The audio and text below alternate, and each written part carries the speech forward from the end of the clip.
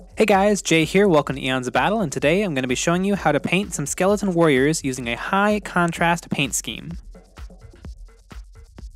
Here are the paints I'll be using.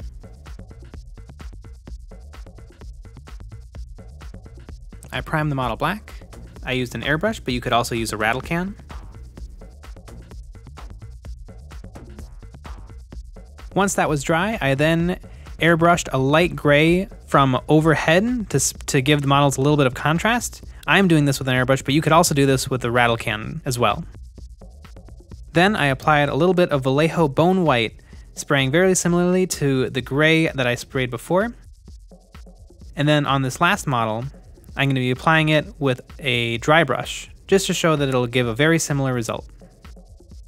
Then I gave all three models a, a watered down green wash.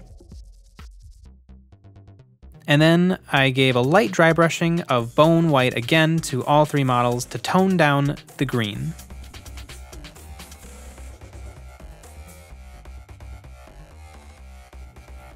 Once that was dry, I then gave them another wash of watered down brown. This is going to make the green even more subtle, but the models will still have a green appearance.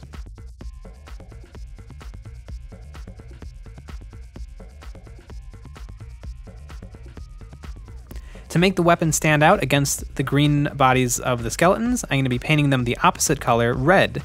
I'm going to be doing a one-to-one -one mix of red and black, to, and then I'm going to be base coating all of the weapons and armor. Once the red was dry, I then went in with a dry brushing of some Hashut copper to give all of the weapons a nice bronze appearance, making sure to go light enough to leave plenty of the red showing underneath.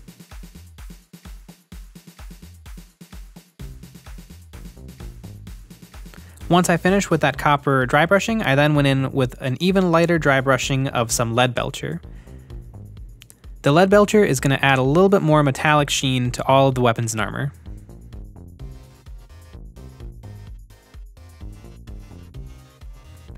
Now the model is finished and I'm going to move on to the base. I start out by base coating the bases with gray.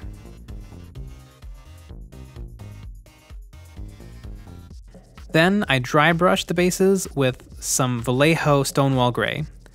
This is going to brighten them up a little bit, and then we'll tone them back down with a black wash.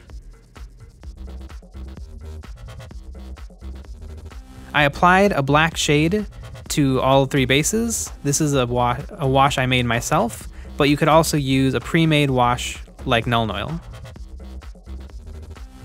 Then I painted the skirts of the bases black. And then I used a little bit of Elmer's glue and I applied it in small amounts onto the bases so that I can apply a little bit of yellow static grass. The yellow is going to stand out nicely because there's no yellow anywhere else on the models. And there is three finished skeleton warriors.